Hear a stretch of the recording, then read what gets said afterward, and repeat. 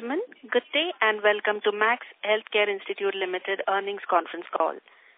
As a reminder, all participant lines will be in the listen-only mode, and there will be an opportunity for you to ask questions after the presentation concludes.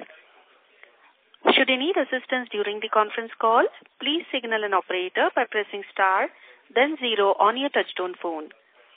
Please note that this conference is being recorded. I now hand the conference over to Mr. Anup Pujari from CDR India. Thank you, and over to you. Thank you. Good evening, everyone, and thank you for joining us on Max Healthcare's Q4 and FY 2024 uh, earnings conference call. We have with us Mr. Abhay Soi, Chairman and Managing Director, Mr. Yogesh Sareen, Senior Director and Chief Financial Officer, and Mr. Keshav Gupta, Senior Director, Growth, M&A, and Business Planning of the company. We will begin the call with opening remarks from the management, following which we'll have the forum open for an interactive question and answer session. Before we start, I would like to point out that some statements made in today's call may be forward-looking in nature, and a disclaimer to this effect has been included in the earnings presentation shared with you earlier. I would now like to invite Abhay to make his opening remarks. A very good afternoon to everyone, and a warm welcome to Max Healthcare's earnings call for the last quarter of fiscal 2024. This has been yet another noteworthy year for us. We witnessed a robust growth in revenue and profitability, with both gross revenue and operating EBITDA registering a 16%-17% growth year-on-year. We touched all-time highs for all our key operating and financial metrics, including ARPOB, margin, and EBITDA per bed. This year also marked our foray into two new cities, namely Nagpur and Lucknow, adding approximately 750 beds to our existing bed capacity with further expansion potential. Both these cities represent key markets in the fast-growing and populous states of Maharashtra and Uttar Pradesh. We consummated the Nagpur transaction on February 9 for a net consideration of rupees 395 crores, financed through internal accruals and QIP funds. While the Lucknow transaction was consummated on March 7 for a net consideration of 993 crores, with rupees 600 crores being financed through external debt. We have already embarked upon the performance improvement journey for these hospitals, which includes revamping of existing infrastructure, expansion of bed capacity, strengthening of clinical talent, and establishing a robust sales and marketing program. These hospitals have been renamed as Max Super Speciality Hospital, Lucknow, and Max Super Speciality Hospital, Nagpur. We expect them to be the key drivers for future growth in these regions. In addition, we have also acquired 5.44 acres of prime land at Shaheed Path in Lucknow, with the potential to build approximately 550 beds.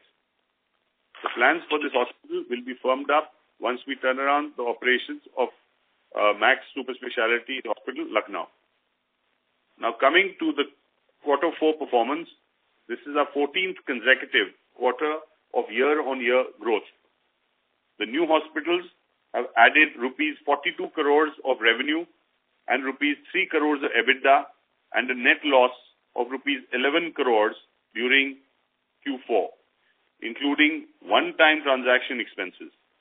Consequently, overall network gross revenue stood at 1,890 crores, registering a growth of 15% year-on-year and 6% quarter-on-quarter.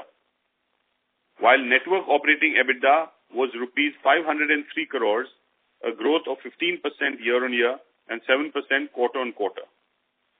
Profit after tax dipped marginally to rupees 311 crores, compared to rupees 320 crores in Q4 last year, due to increase in effective tax rate, having an impact of rupees 31 crores, net loss from the new hospitals of rupees 11 crores, and movement in non-cash items of fair value of contingent consideration of rupees 25 crores, which reflects improved projected profitability for the managed hospitals. Growth numbers from here on are being shared on a like-for-like basis, excluding new hospitals. Average occupancy for the network was 75%. Occupied bed days rose marginally by around 1% year-on-year and 3% quarter-on-quarter, driven largely by increased admissions under preferred channels, which is cash, TPA, and international. Growth in occupancy and footfalls was impacted due to capacity constraints. Average revenue per occupied bed, ARPOB, for the quarter improved to rupees 78,100, growing by 10% year-on-year and 2% quarter-on-quarter. Year-on-year growth was driven by increased share of super specialities such as oncology, neurology, and cardiac sciences, an increase in tariff, including that for the institutional segment. Institutional bed share was 29.1% compared to 29.2% last year and 29.5% in the previous quarter. However, after excluding Max Shalimar Bagh, the overall institutional bed share stood at 27% during Q4 and occupied bed days were down by 6% year-on-year for the segment.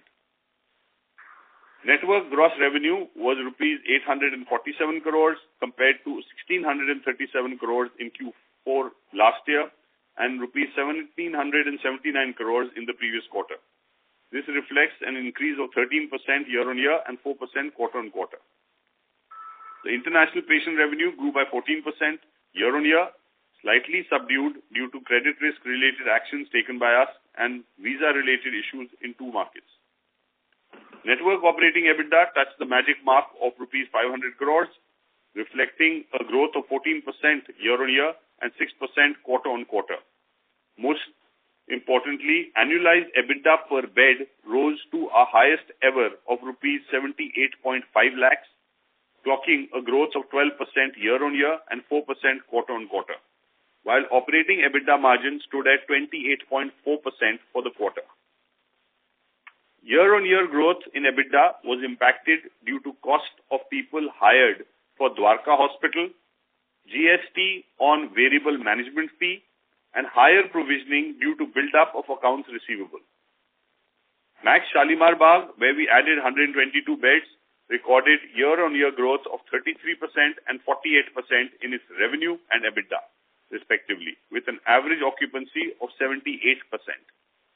Profit after tax was rupees 322 crores versus similar level in Q4 last year and rupees 338 crores in the previous quarter.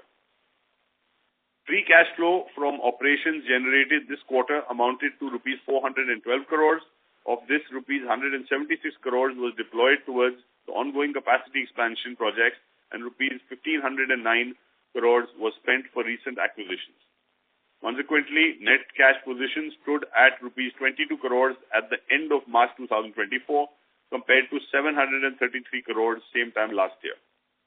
Continuing our efforts to support the local communities, we treated approximately 35,200 patients in OPD and 1,200 patients in IPD from economically weaker sections of society entirely free of cost.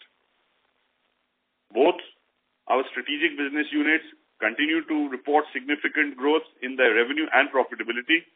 Max at Home reported a top line of rupees 46 crores, reflecting a strong growth of 25% year-on-year and 3% quarter-on-quarter. This SBU continues to garner customer loyalty and has now expanded its footprint to over 10 cities.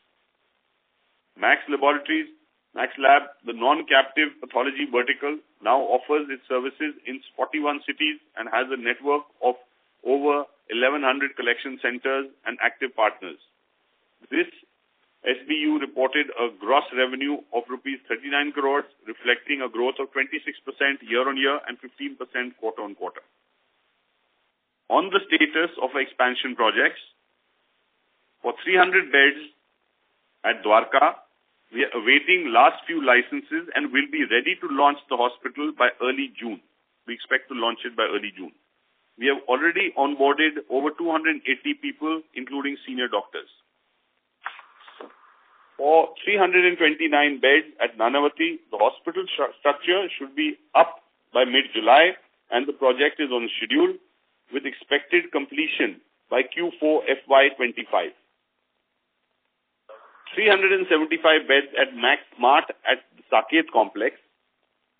Post the initial delay due to tree transplantation issues, This project has now been fast-tracked and is expected to be completed by Q1 FY26, nine months ahead of the previously communicated timelines.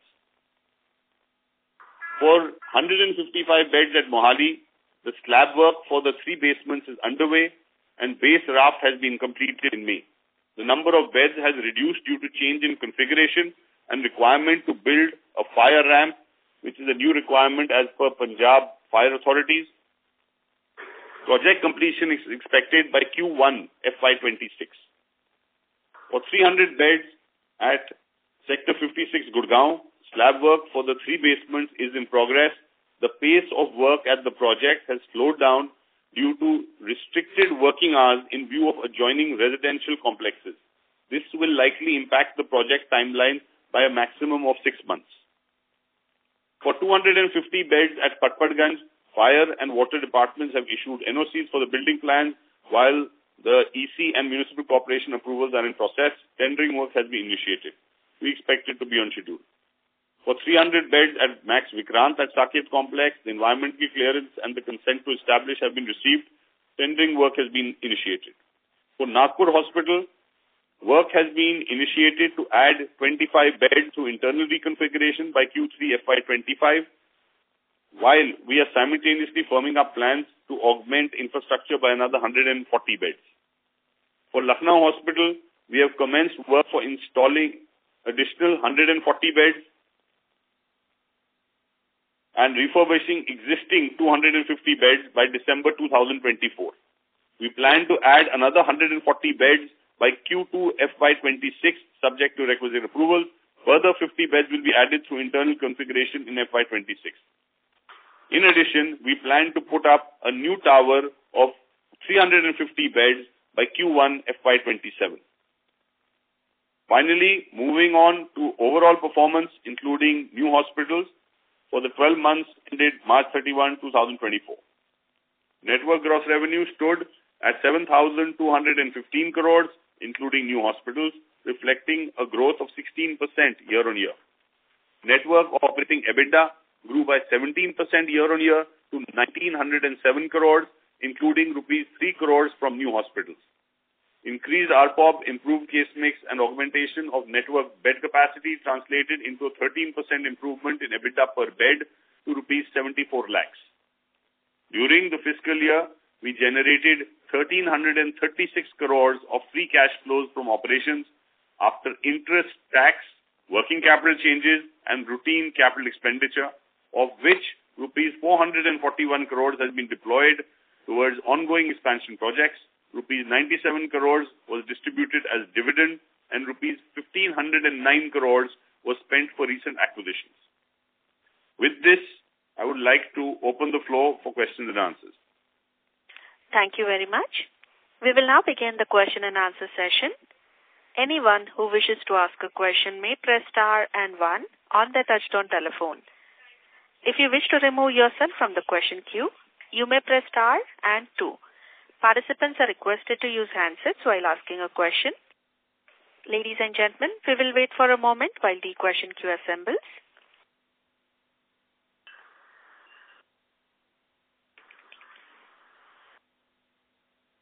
We'll take our first question from the line of Tushar Manudhane from Motilal Oswal. Please go ahead. Yeah, thanks for the opportunity. Uh, sir, firstly on Lucknow, where we already have uh, acquired this... Tushar, I'm sorry, can you use your handset mode, please? Your audio is not very clear. Is this better? Yes. Okay. Uh, sir, firstly on Lucknow, where we have acquired Sahara, where we also plan to add 140 beds and then another tower of 50 beds. So if you could just explain conceptually uh, the need for this buying land at Shaheed Path, Lucknow. That is my first question. Okay. Firstly, you know, the size of UP itself uh, is the size of Europe, and it is extremely, extremely underserved market. Uh, it has a major supply of clinical talent, okay, because traditionally you had many, many government hospitals and many sort of uh, this thing was well over there. It drains a lot of patients uh, to from various places, right up uh, from Bihar to right up to Nepal and so on. We believe that there is immense uh, uh, need uh, for quality infrastructure over there. And our presence uh, at the in the you know in the Lucknow market, in the UP market, furthering our presence over there, will add to further volumes. I mean, we've barely been there since the 9th of March, and in the last couple of months itself, we moved the capacity occupancy by 8%. You know, just our presence right now is taken up from 54 to 62%. So that's the extent of ramp up that we expect. Um, having said that, uh, Uh, I would also like to tell you that uh, our uh, capacity, our infrastructure is AAA plus over there. It is right in the heart of uh, Lucknow. If uh, you're familiar with Lucknow, you know, this is in the heart of Gomti Nagar, 27 acres of land, and with access like no other. In terms of infrastructure, it is superior. In terms of location, it is superior to anything else over there. And uh, we are seeing, I mean, we believe there will be a lot of traction. You know, the the, the state of uh, UP itself is, is the kind of development which is happening. I mean, you just see the, I mean, the five airports which have been launched, another four over there which are being launched, the development which is happening, aiming to be a $1 trillion um, economy by 2027. Now, it's another matter whether they do it by 27 or 28 or 29. But the rate of development over there is second to none. I mean, not second to none, but right up there. So, you know, development of any state, any economy, uh, the, the, you know, quality healthcare is a prerequisite.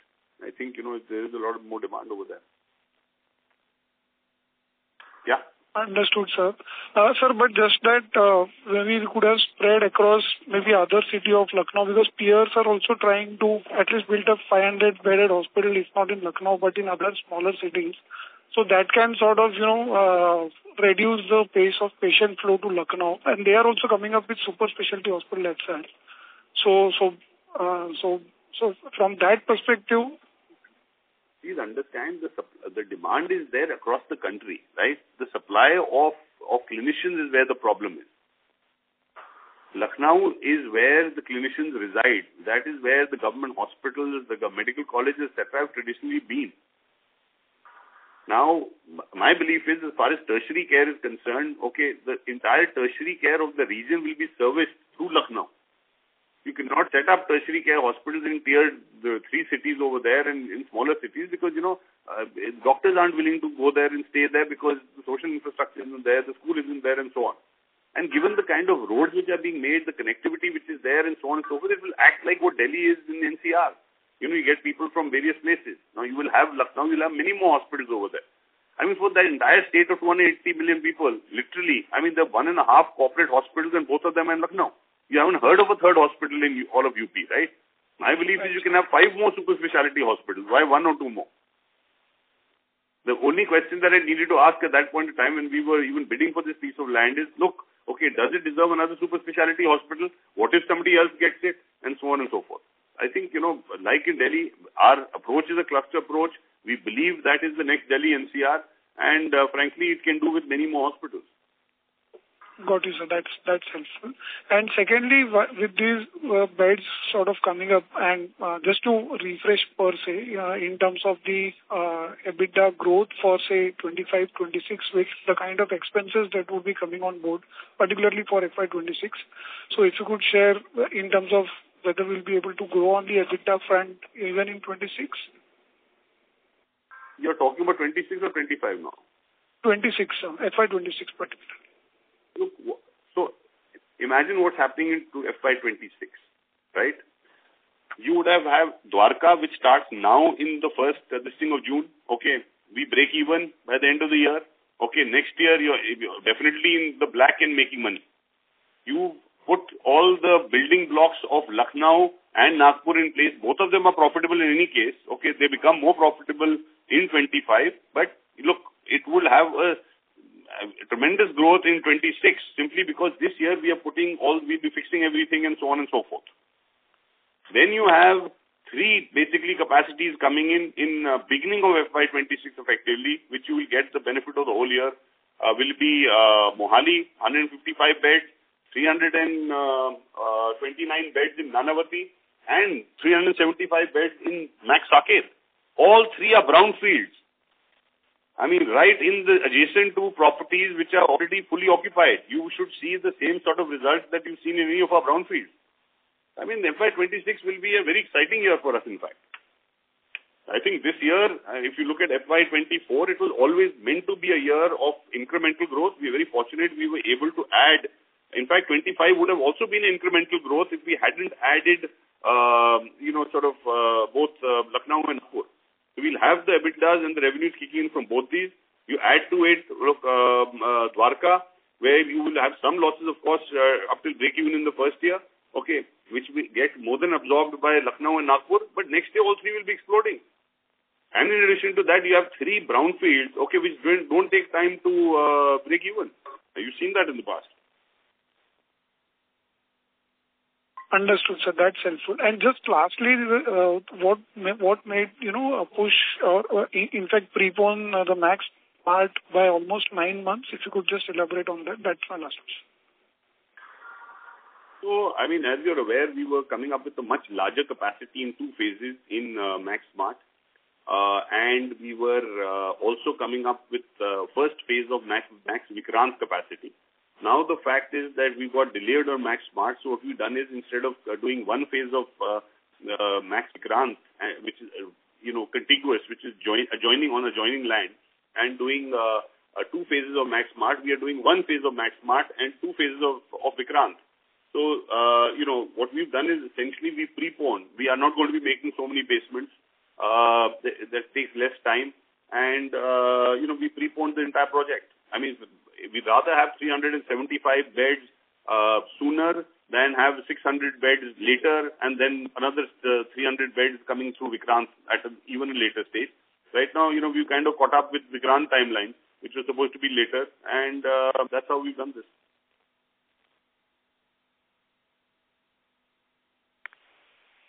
Tushar, does that answer your question?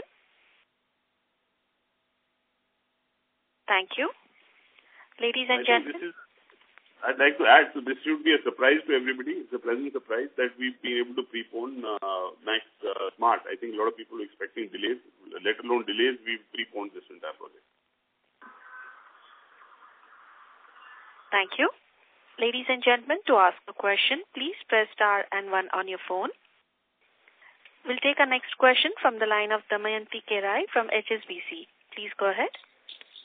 Hi, uh, good evening, and thank you for the opportunity.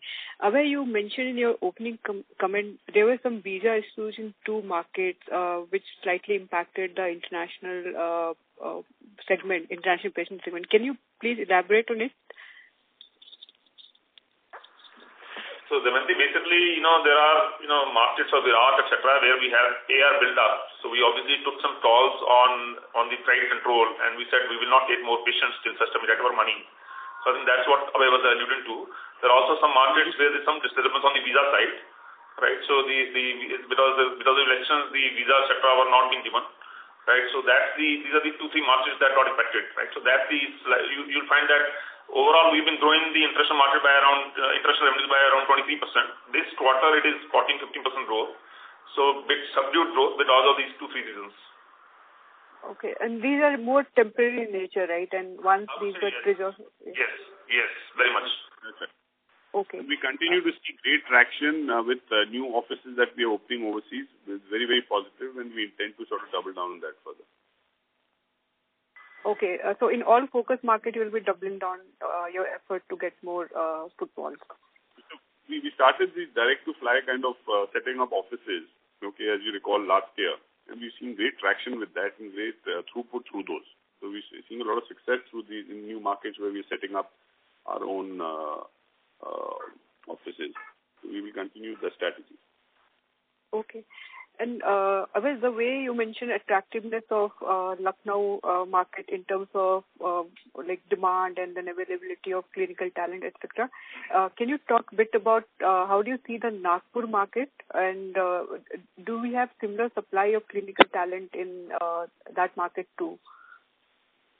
Yeah, so I mean, uh, you have supply of clinical talent, but you know, if I look at the the country of, if I look at India, uh, you know, uh, Lucknow that way is unique. Perhaps it has uh, the most amount of, uh, and, and just to give you an example, a lot of, at least 20% odd of our own doctors uh, in Delhi, uh, you know, which work for Max have come from Lucknow. So it's traditionally been a this thing. Of course, uh, Nagpur is also a repository for uh, clinical talent, but not to the same extent in Lucknow. Because, you know, Lucknow is Lucknow. You don't have other places the same sort of uh, this thing. I mean, I would compare uh, Nagpur more to a Dehradun and, you know, where we have hospitals which are doing quite well, etc. But I would, uh, you know, compare it to those markets rather than... Uh, having said that, it's also, it, it is emerging as the transplant capital of the country. Uh, because uh, you have huge amount of awareness of uh, organ donation and a lot of lot of people, it seems to be a cultural thing, they are donating organs and so on. Also, it is uh, been a, a big this thing for um, uh, mouth cancer because of uh, much higher consumption of gutka and so on and so forth. So we are seeing a lot of oncology patients in Nagpur. So I think, you know, oncology being our mainstay, I have uh, no doubt that, uh, I mean, by the, so let me also clarify uh, you know, Nagpur also has, uh, you know, much fewer uh, sort of quality uh, healthcare assets.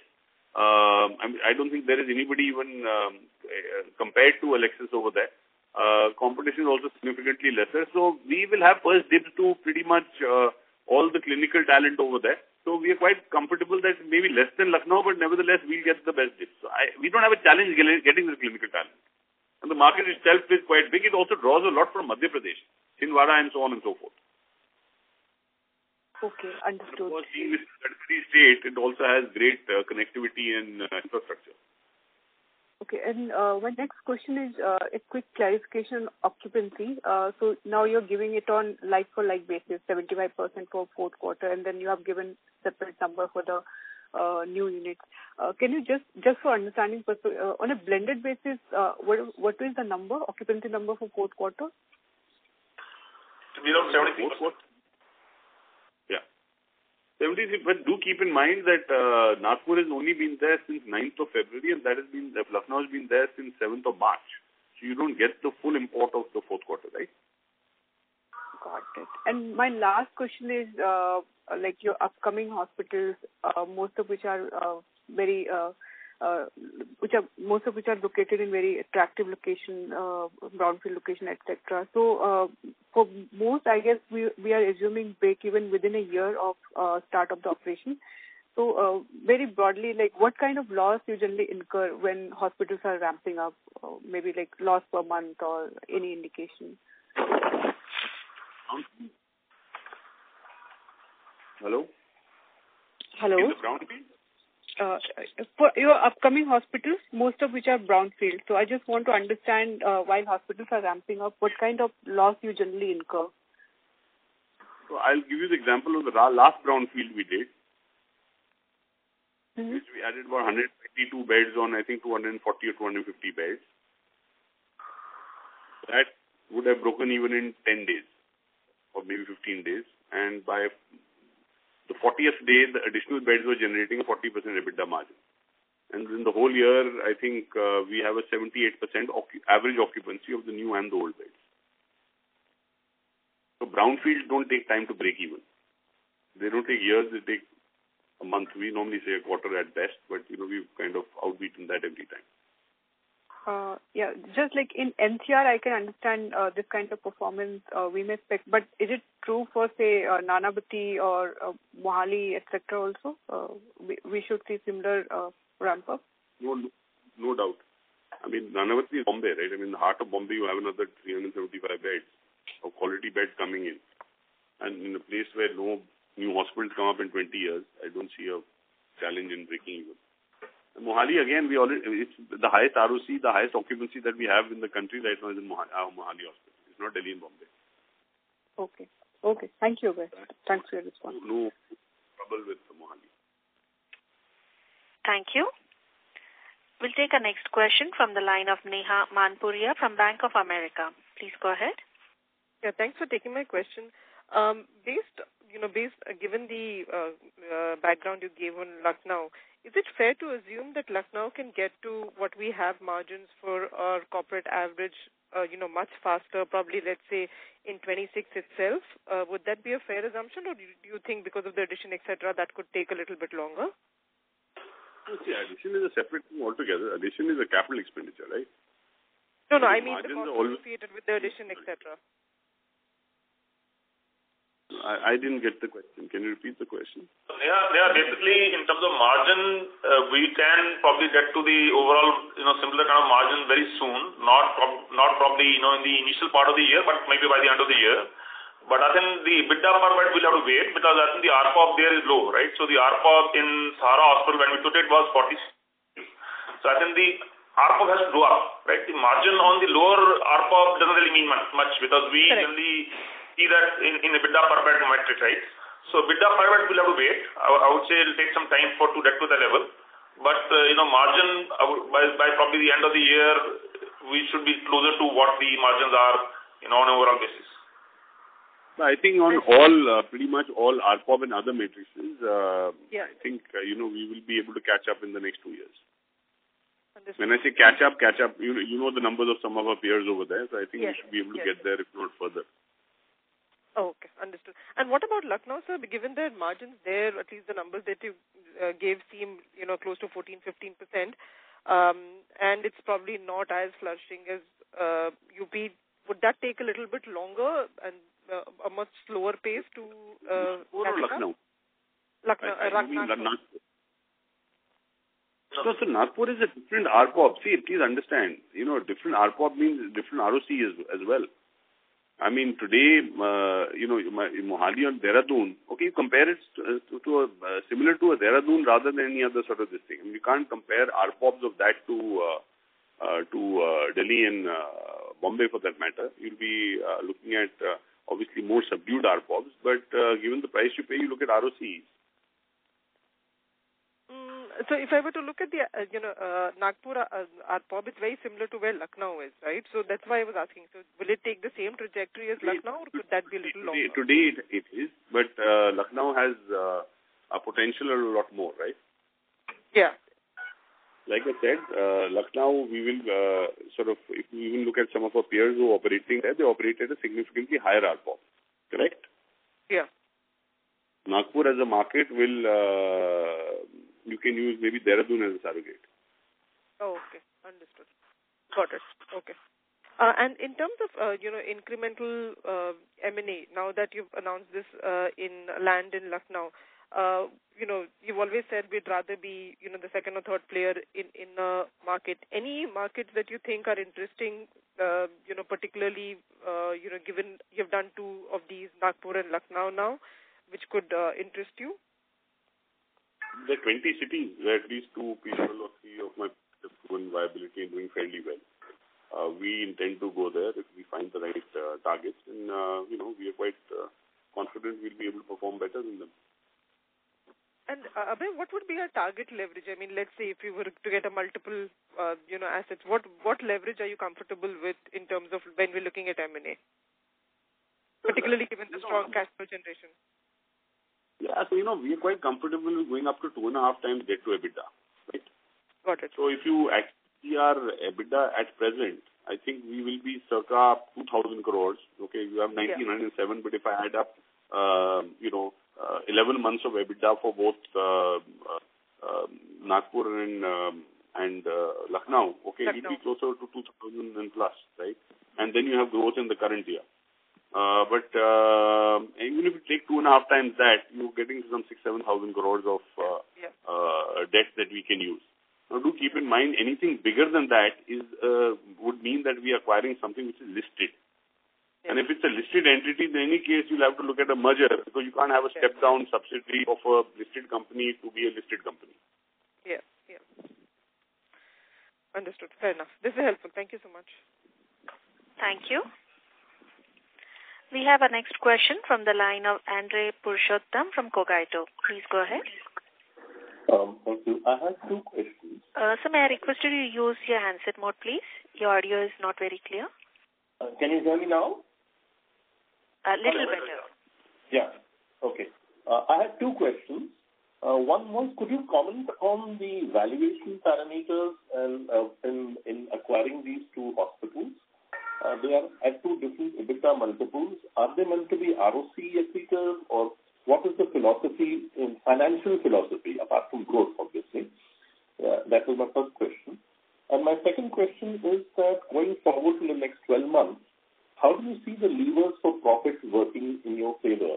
whether it is increasing mix of international patients, whether it is uh, a better mix, uh, whether it is you know a lower proportion of government cases, etc., etc. I just wanted to um, hear your uh, general outlook on the trends that you see in the next 12 months that will lead to profitable growth. I think two aspects. One is on the financial aspect. We seek a 20 to 25 percent uh, pre-tax ROC, uh, you know, within a space of four to five years. Uh, in both these cases, my belief is we will be able to hit that number uh, far sooner than that. Um, and you know, we do this by uh, uh, you know uh, seeing what is the value we are paying versus what we believe uh, with uh, adequate amount of uh, intellectual integrity uh, what is the business plan that we are able to or capable of underwriting. Uh, and so you do a goal seek to the, for that number at 20-25% pre-tax ROC, and that's how we come up with the maximum that we are willing to pay for asset. Uh, you know, of course, we will pay that maximum. We try to negotiate and pay as little as possible, but uh, that's where we are on the financial side. Right. I hope that answers the question as far as yeah. uh, what is the fiscal target. Now, as far as drivers for the current uh, for the uh, current year is concerned, I think um, it is all of the year. things that you spoke about. Sorry? So the next 12 months, say. Next 12 months is uh, is this financial year, right, effectively? Yeah, okay, fine. Of the next financial year. If you take fi- uh, well, instead of 12 months, I'll just draw a line at 10 months or whatever, because that's the number of months left for the current financial year. I think all of these that you mentioned, uh, I think uh, higher international patients, uh, uh, so that means better payer mix, uh, better clinical mix. We are seeing uh, more robotics happening. We are seeing more uh, sort of this thing on oncology, um, uh, higher end surgeries and so on and so forth. So I think all of these things should be in play. Uh, we also hoping that, uh, and we believe that, uh, you know, CGHS rates will get uh, uh, reworked, and even on the institutional side, we're expecting better rates. Uh, So I think um, all of these are levers for us uh, in the current year. Uh, You know, other than that, uh, of course, uh, compared to last year, we would be adding the EBITDA uh, or an incremental EBITDA emanating from both Lucknow and Nagpur, uh, whilst uh, Dwarka will have uh, some sort of uh, initial losses at startup. But those initial uh, losses at startup should be, uh, we'll be able to more than absorb it uh, with our uh, uh, new uh, uh, profits that we're generating through uh, Lucknow and Nagpur. Right. And do you see any drags on profitability? No. Like I said, you know, of course, you have, uh, you Dwarka will take time to break even, but uh, you are, we've added two new capacities, uh, which is 500 beds, which are already generating uh, uh, profits and free cash flows. We will be adding to that.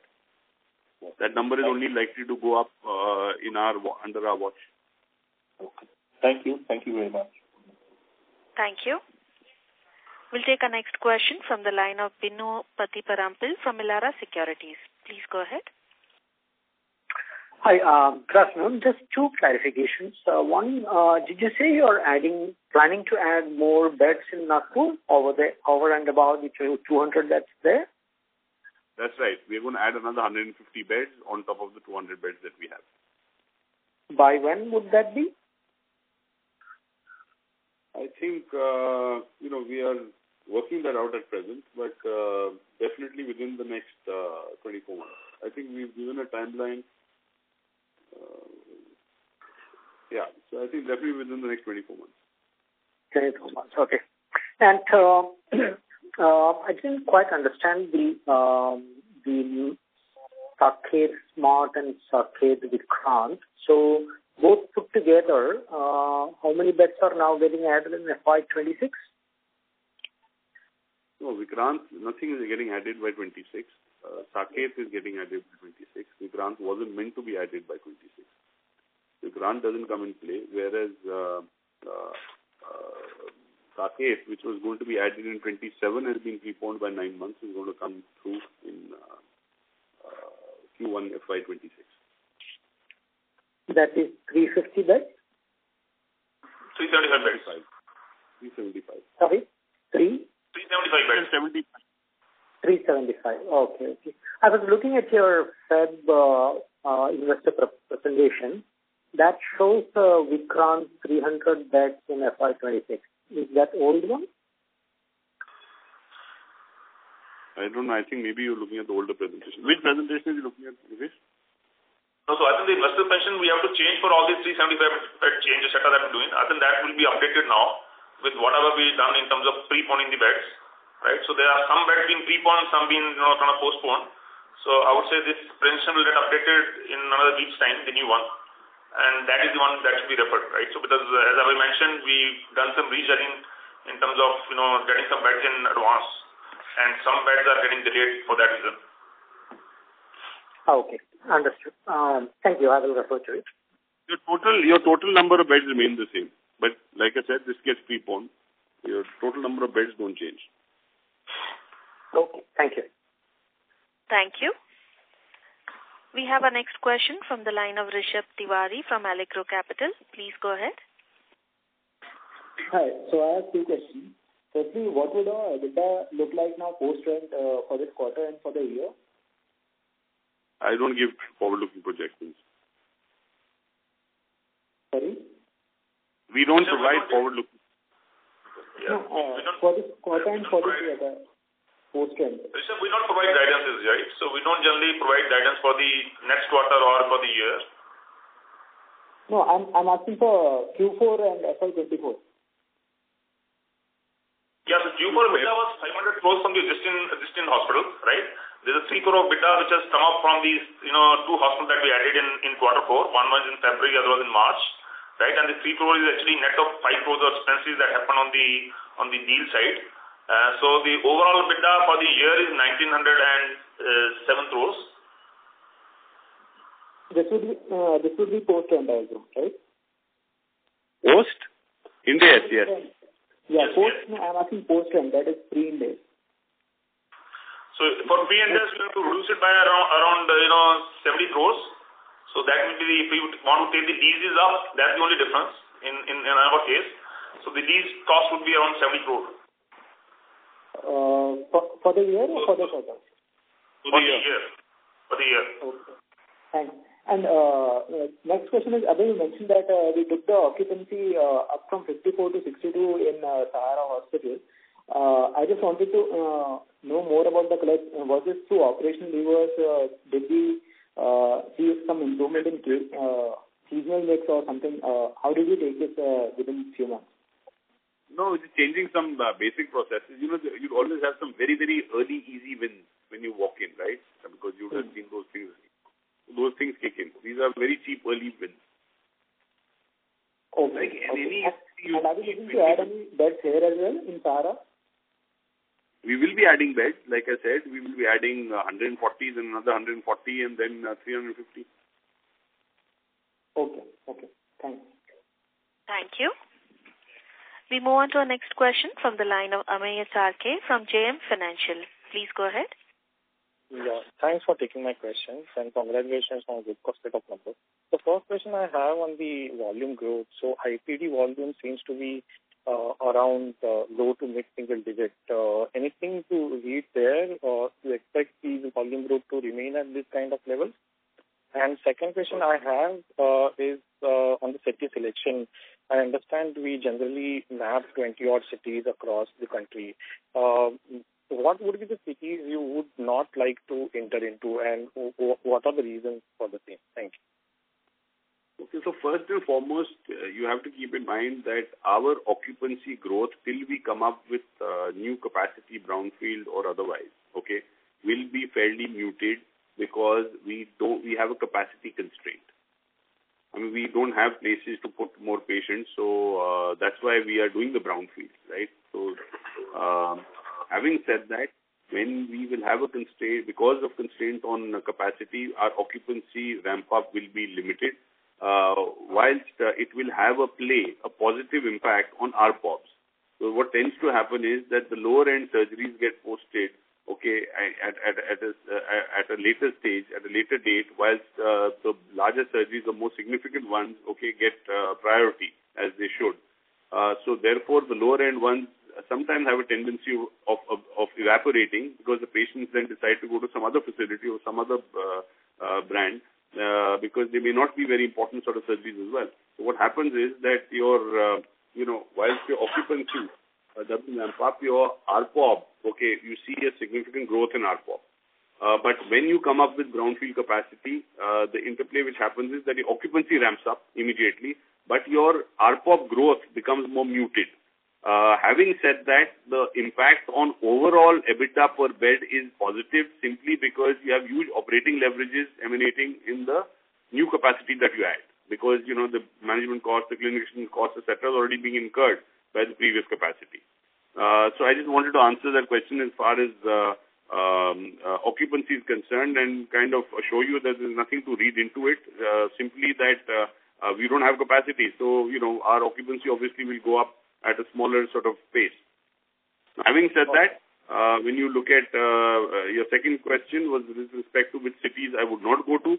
Uh, so conversely, uh, I would not go to cities where uh, my peers have not proven viability uh, or uncharted territories because, uh, you know, we don't see ourselves as pioneers going into places where, uh, you know, and taking chances. We'd rather have somebody else define the market, uh, be able to sort of demonstrate success go there and try to do it better. Uh, you know, we've been very comfortable in doing it, and we've been successful in doing that. So is there any city which you think uh, is oversupplied with the quality of the beds, etc., or it's just that the because it's uncharted territory, that's why you don't want it? So let me give you an example. Look, the maximum amount of beds, okay, in any geography is Delhi NCR, right? The national capital region. We have 11 hospitals over there and we have 2100 beds. We are the largest players by far. We are equal to the our next three peers put together multiplied by two in terms of number of locations and we are equal to all three of them put together, okay, as far as number of beds are concerned. And the next 15 players have similar amount of bed locations, similar amount of uh, bed capacity. Yet we only have 2100 beds, 10% of which are free, 10% of which are catering to international business, 40% of which are catering to upcountry.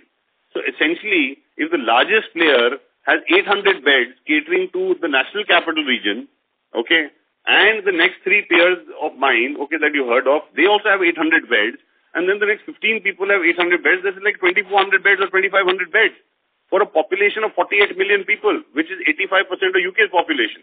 And this is a place where you have the maximum water supply.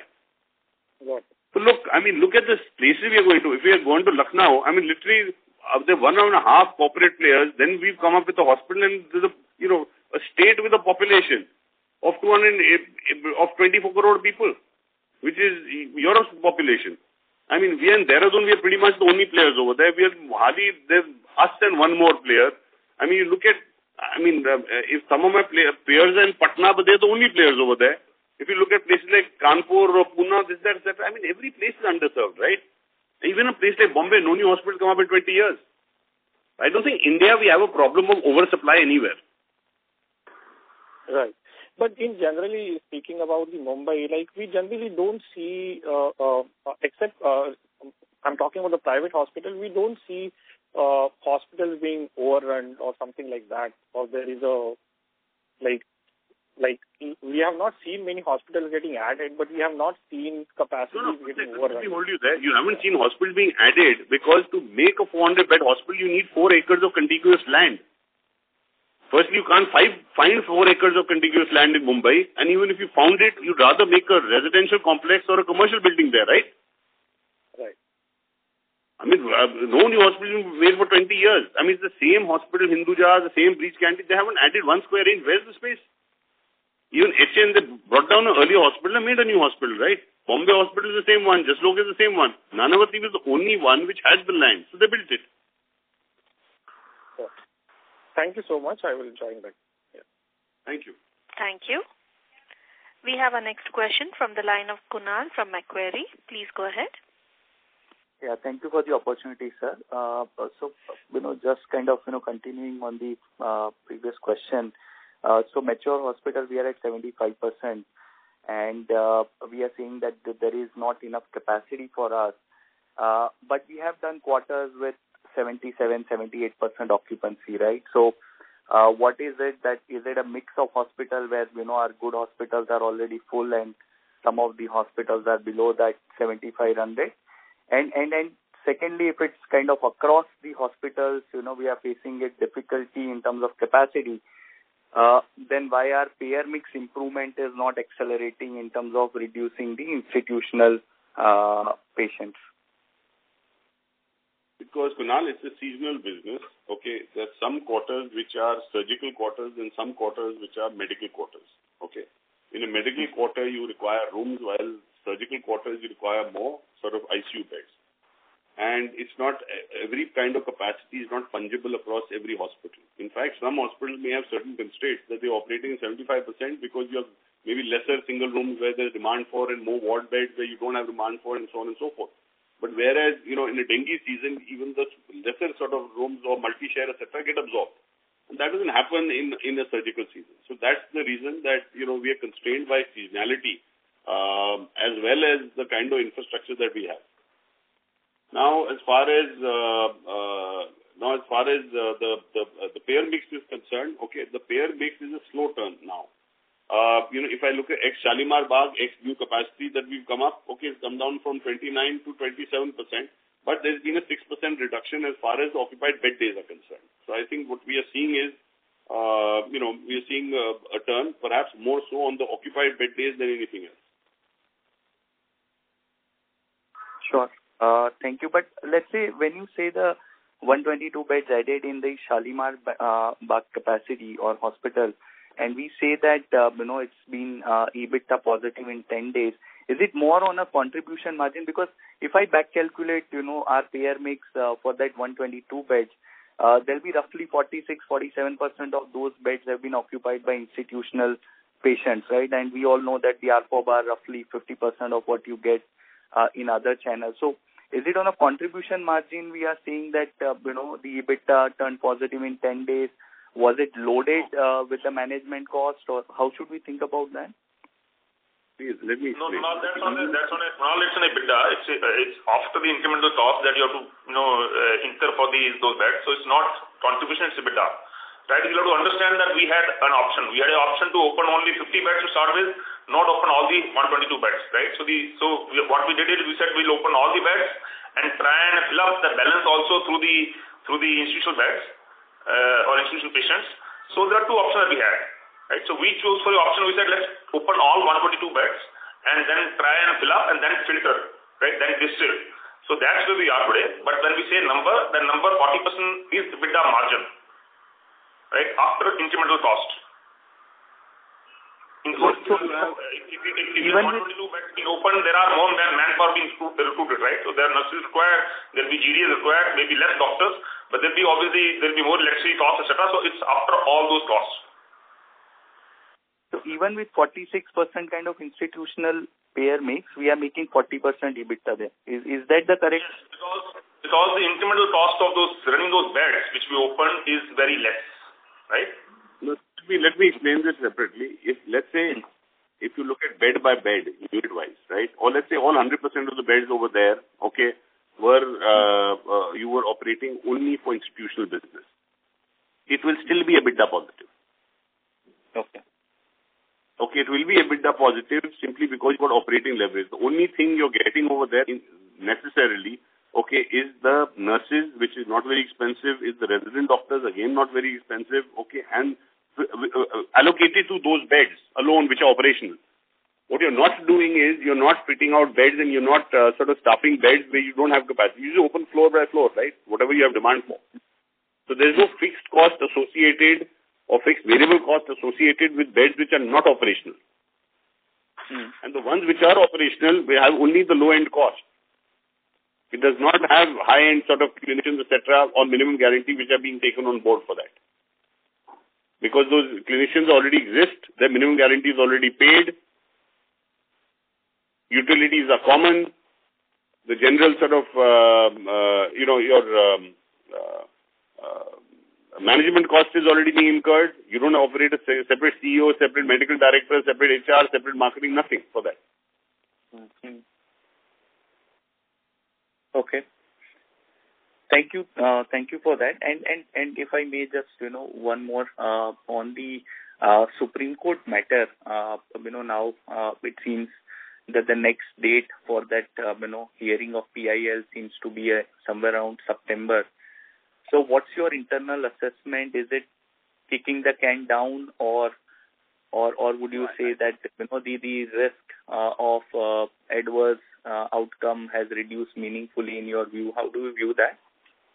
I would not want to comment on it. It's a Supreme Court matter. It's sub judice. Okay, we've seen the rap IMA got, so I definitely don't want to be speaking about it.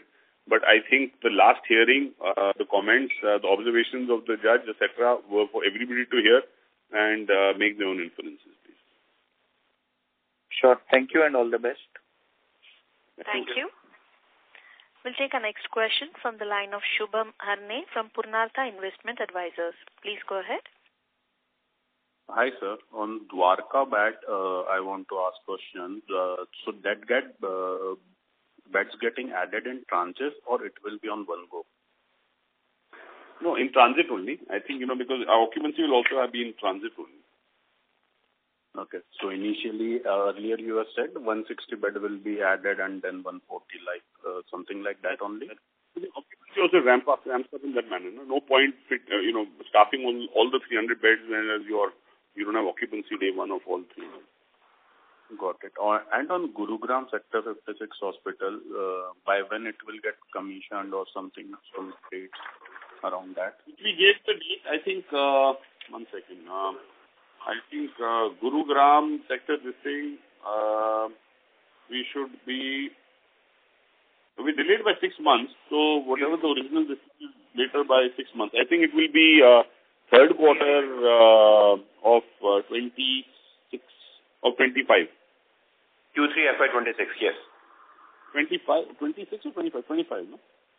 Calendar year 25. 25 is current year. So yeah, yeah, calendar year 25. Financial year 26.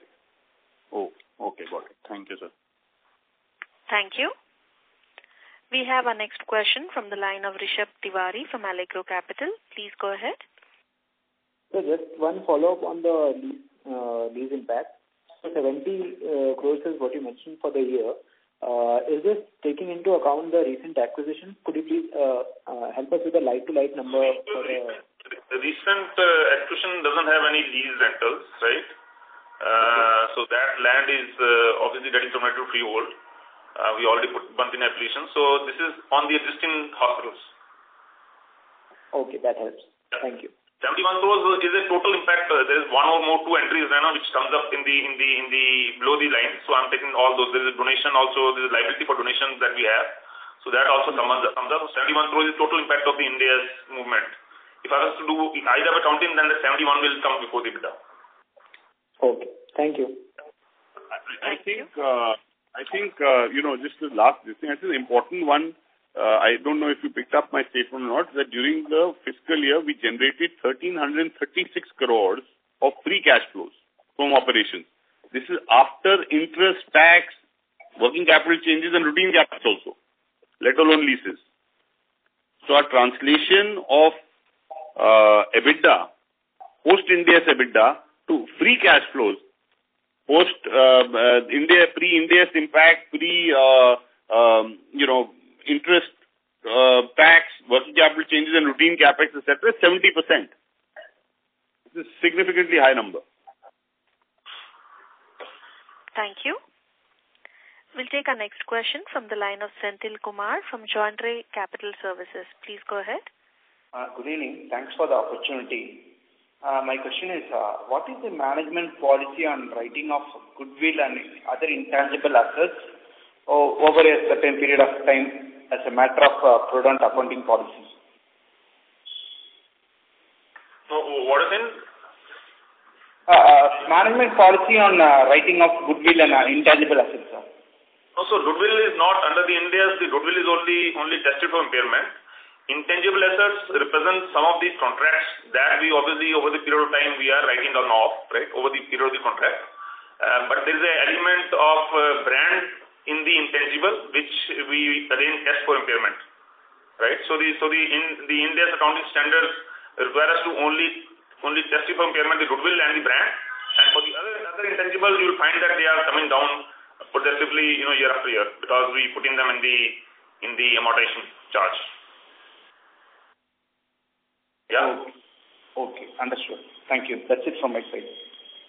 Thank you. We'll take our next question from the line of CA Vipul Makwana from Makwana. Please go ahead. Uh, hi. Uh, good evening to everyone. Uh, good set of numbers, Abhay sir. Uh, um, apart from my peers have all... Makwana, can you use your handset mode, please? Your audio is not very clear. Yeah, hello. Can you hear me now? Yes. Yeah, apart from uh, all the financial queries which my peers have asked, I just want to ask on the qualitative aspects, like what is Max doing separately or uh, concisely different than the others where we're seeing a good number set, like on our POPs and everything. So, Mr. Bhai, if you could just throw some light on it. I think first and foremost, uh, you know, proof of the pudding lies in its eating. The fact that we have a significantly higher occupancy levels than any of our peers or whatever means that we are doing uh, well on qualitative aspects as well. Uh, you know, we, uh, and uh, the value proposition that we're able to provide to our patients. Uh, you know, it's not only Delhi, Bombay. Our highest occupancies also continue to be in tier 2, tier 3 cities. So yes, I think the, you know, it's, it's, it's for people to perceive, uh, uh, you know, uh, the patients to perceive more than what I can say, uh, you know, in terms of what is the quality that they uh, sort of this thing. Yes, we continue to um, to cater to a lot of uh, free patients. Uh, there are thousands of patients in a year that we treat free of cost, and I mentioned uh, to I think uh, 35,000 patients in OPD and some 1,500 patients in IPD in the last quarter itself that we treated. We uh, all our hospitals are teaching hospitals. We have 850 odd. Uh, uh, students, uh, both uh, these are postgraduate students. We write uh, a lot of, uh, you know, you've seen the number of publications that we're doing, which is the highest ever that we did last year, both for international and domestic journals. So we continue to uh, to uh, uh, academics and research as well, besides, uh, you know, of course, the financial parameters that we operate. That helps. That helps. Thank you. Thank you so much. Thank you. We'll take our next question from the line of Amit T, an individual investor. Please go ahead. Uh, my question has been answered. Thank you so much, Abhay. Thank you. Thank you. Thank you. Ladies and gentlemen, that was the last question for today. I would now like to hand the conference over to management for closing comments. Over to you. Thank you. Uh, I would like to thank each one of you for either covering the company or having invested in the company. We appreciate that and uh, we believe uh, the next uh, uh, two years will be uh, years of exponential growth for us, particularly FY26, uh, uh, where a lot of uh, things are going to be coming on stream. So uh, we look forward to a extremely lucrative journey going forward. Thank you. Thank you, members of the management team. On behalf of Max Healthcare Institute Limited, that concludes this conference. Thank you for joining us, and you may now disconnect your lines.